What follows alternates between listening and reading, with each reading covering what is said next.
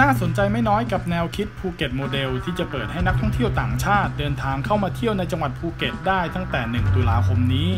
แม้สถานการณ์ของโรคโควิด -19 ยังคงระบาดอยู่ทั่วทุกมุมโลก ณรงค์ วุ่นซิ้ว ผู้ว่าราชการจังหวัดให้เหตุผลว่าเนื่องจากปัญหาเศรษฐกิจที่ซบเซาอย่างหนัก จึงทำให้จังหวัดที่พึ่งพานักท่องเที่ยวต่างชาติอย่างภูเก็ต ที่เคยทำเงินสะพัดราวปีละ4แสนล้านบาท ต้องหาวิธีฟื้นฟูรายได้เหล่านี้กลับคืนมา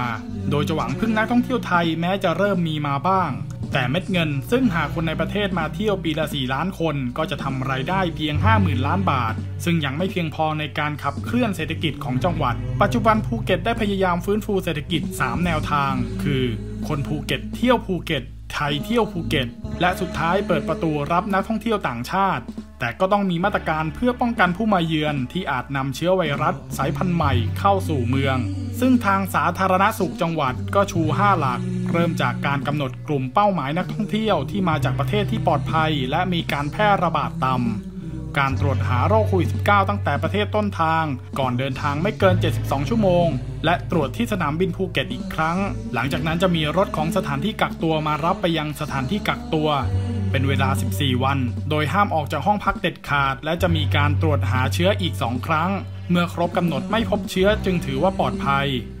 การติดตามตัวผู้ที่เดินทางหลังครบกักตัวผ่านแอปพลิเคชัน การเข้าดำเนินการทันทีหากพบการติดเชื้อ และการสร้างความมั่นใจ และการตั้งกองทุนเพื่อช่วยเหลือดูแลผู้ที่ได้รับผลกระทบจากโรคโควิด -19 ด้านนายแพทย์เฉลิมพงศ์สุคนทผล ผู้อำนวยการโรงพยาบาลวชิระภูเก็ต ก็ยืนยันว่า การแง้มประตูเมืองให้ต่างชาติเข้ามาจะต้องปลอดภัยสูงสุด โดยมั่นใจว่าปี 2564 ถึง 2565 โรคโควิด -19 จะหมดไป ซึ่งไทยหน้าช่วงชิงความได้เปรียบทางการท่องเที่ยว และสร้างความมั่นใจท่องเที่ยววิถีใหม่ และความปลอดภัยสูง ซึ่งทางจังหวัดได้แจ้งให้สคบได้รับทราบ โดยกำหนดเริ่มรับต่างชาติ 11 กลุ่ม ที่ได้รับการอนุญาตให้เข้าไทย และกลุ่มภูเก็ต Thailand Long Stay สำหรับผู้ที่จะเข้ามาพักผ่อนยาวอย่างน้อย 3 เดือน และมีกำลังซื้อสูง ซึ่งทางการท่องเที่ยวแห่งประเทศไทยได้นำเสนอให้เดินทางเข้าผ่านบริษัท Thailand Long Stay ที่ทางททท ถือหุ้นอยู่ 30%เป็นระยะแรก 1 ตุลาคมนี้ เมื่อประเมินว่าไม่พบปัญหา ก็จะเดินแผนระยะ 2 Safety Tourism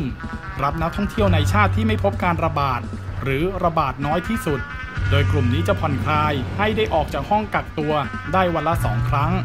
ส่วนระยะที่ 3 จะรับนักท่องเที่ยวต่างชาติ จากชาติที่มีการระบาดน้อยถึงปานกลาง โดยต้องกักตัว 14 วัน แต่สามารถออกไปเที่ยวได้ตามเส้นทางที่กำหนด ในระหว่างการกักตัวหากตรวจไม่พบเชื้อ โดยจะมีการแจ้งให้คนไทยทราบ และต้องกลับมาพักที่เดิม ส่วนระยะสุดท้าย Health Tourism จะเกิดขึ้นเมื่อมีการผลิตวัคซีนได้แล้ว และมีการแพร่ระบาดน้อยมาก คือหากตรวจไม่พบเชื้อที่สนามบินก็สามารถเที่ยวได้ทันที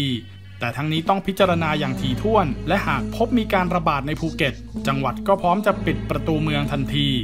แต่เรื่องนี้ก็ใช่ว่าชาวภูเก็ตจะเห็นด้วย เพราะบางส่วนมองว่ามันยังไม่ถึงเวลาที่จะเปิดเมือง ควรรอให้พร้อมในด้านวัคซีนก่อนบางก็กลัวว่าจะทำให้คนไทยด้วยกันไม่กล้ามาเที่ยว และที่สำคัญไม่อยากให้ภูเก็ตเป็นหนูทดลอง เพราะหากเกิดอะไรขึ้น คนภูเก็ตจะได้รับผลกระทบมากที่สุด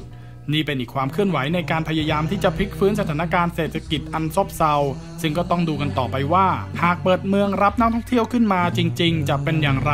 แล้วถ้าเกิดเจ้าหน้าที่ไม่เข้มงวด รัดกุมอย่างที่เคยมีข่าว จะคุ้มค่ากับความเสี่ยงต่อโรคระบาดหรือไม่